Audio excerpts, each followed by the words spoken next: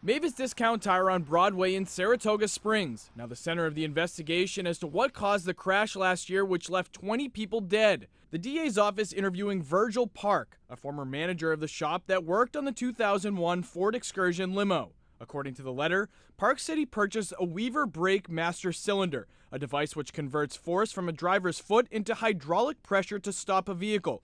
An invoice from May 11, 2018 said the work had been done, but Park claims another employee told him it was never installed. Instead, the part was returned the very next day. Park also claiming the same thing happened again the following month.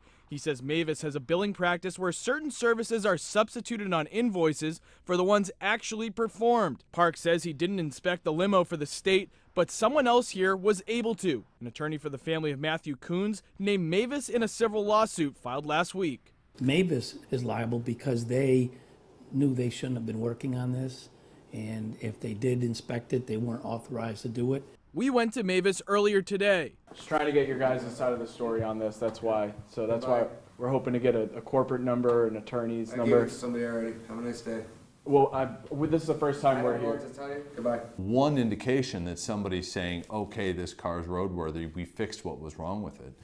uh, You know, that reliance upon somebody else was, well, that information they got was wrong. Kindlon believes this new information exonerates his client, but not everyone thinks that's the case. I don't think that makes the uh, defendant in the criminal case any less culpable because he was one that hired Mavis and he knew what was going on.